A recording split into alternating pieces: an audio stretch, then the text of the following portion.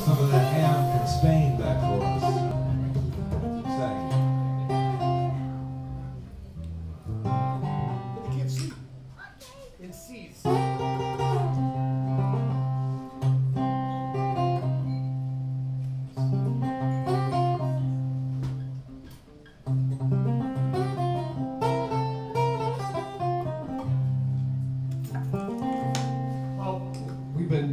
positive and all, but I think it's time to go back to our roots. That would be the Old Testament, Oh, yeah. where the scores can really change. Yeah.